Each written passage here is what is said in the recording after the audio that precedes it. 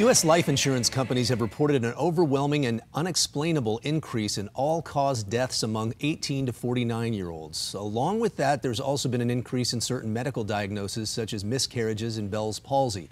Here to give us her take on the new data and what she believes could be causing the rise in numbers is emergency medicine and disaster specialist Dr. Kelly Victory. Dr. Victory, good morning. Great to talk to you as always.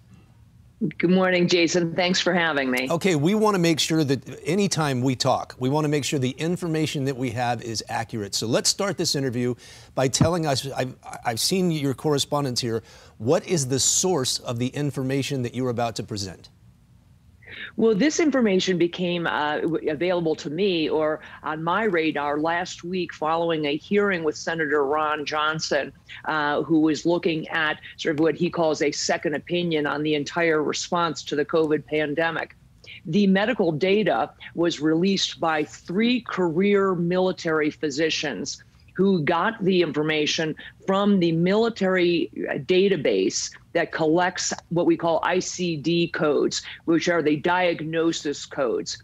And these physicians had a feeling, they believed based on their own observation, that they were seeing a significant uptick in certain conditions. So they actually went back and culled the database from the military on certain conditions over a five year period from 2016 through 2020, uh, notably con- you continuing or uh, containing one year 2020 of the full-blown pandemic. So they looked at 2016 17 18 19 and 20 at the prevalence of certain conditions including things like heart attack blood clots to the lung miscarriages those sorts of things and they compared it to the incidence of those same things in the calendar year 2021 and saw an alarming increase in certain things. For example, they saw a 270% increase in myocardial infarction in 2021, a 300% increase in incidence of Bell's palsy and of certain neurologic complaints, uh, a 470% increase in pulmonary embolisms, blood clots to the lungs, and many, many other huge increases that they found alarming.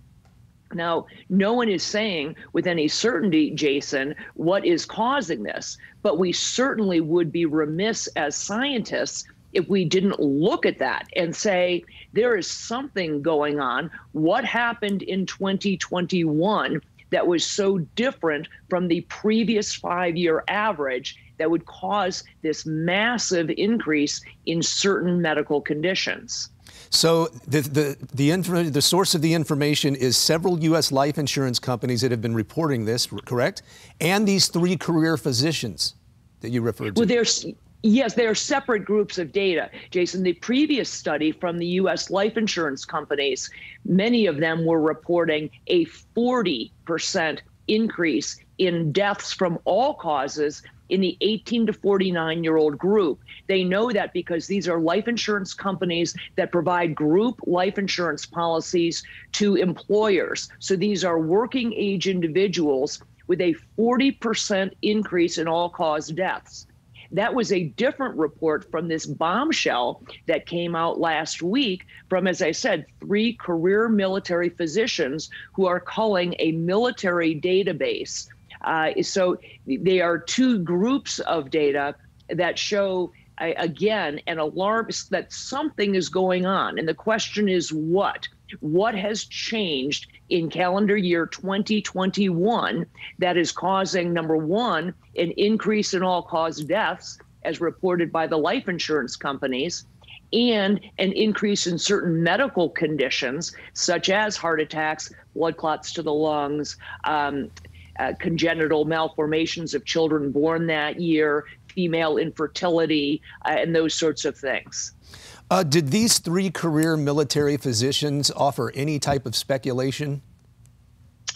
They did not, and they but they did not do this anonymously. Uh, they signed an affidavit on this. Um, I have not seen the raw data. I'm not a military physician. I don't have access to that database, but I don't have any reason to believe at this juncture uh, that the data is in question. These are again based on ICD codes, and it should I should make it clear because it's very easy to make statistics of these sorts um, deceptive. Uh, so when I say that there's a 300% increase, for example, in cancers, is what they found. This wasn't an increase from one case to four cases.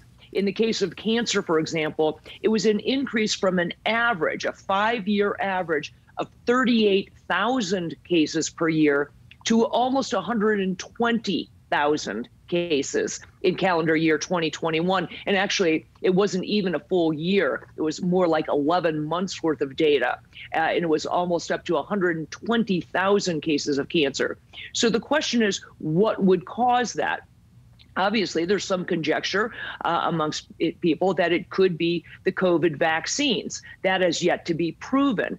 But again, we would be remiss if we said that we couldn't consider that. Maybe it's climate change. I don't know. But I sure as heck do know that we better be paying attention to it because real science, Jason, real science requires us to be intellectually curious.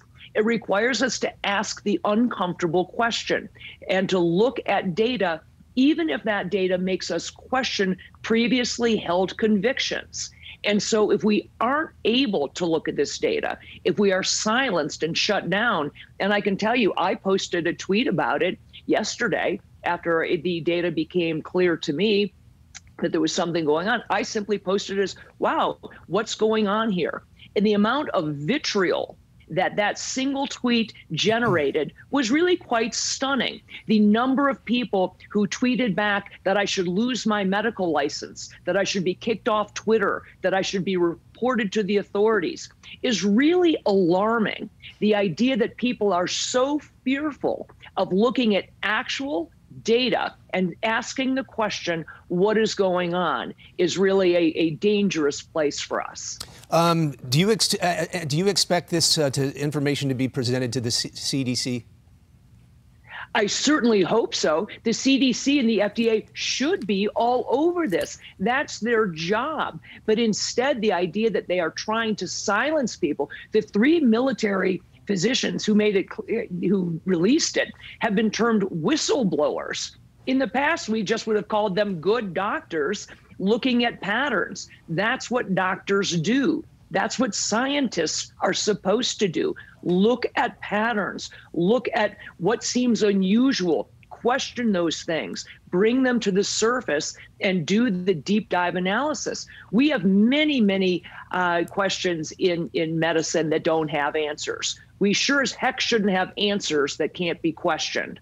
And if the problem turns out to be these vaccines, and they certainly should be looking at it, that it is certainly one thing of perhaps many that changed in 2021 that could be responsible for some portion, if not all, of these increases in various medical conditions. And it deserves to be fully exposed and to be examined very, very carefully. Okay.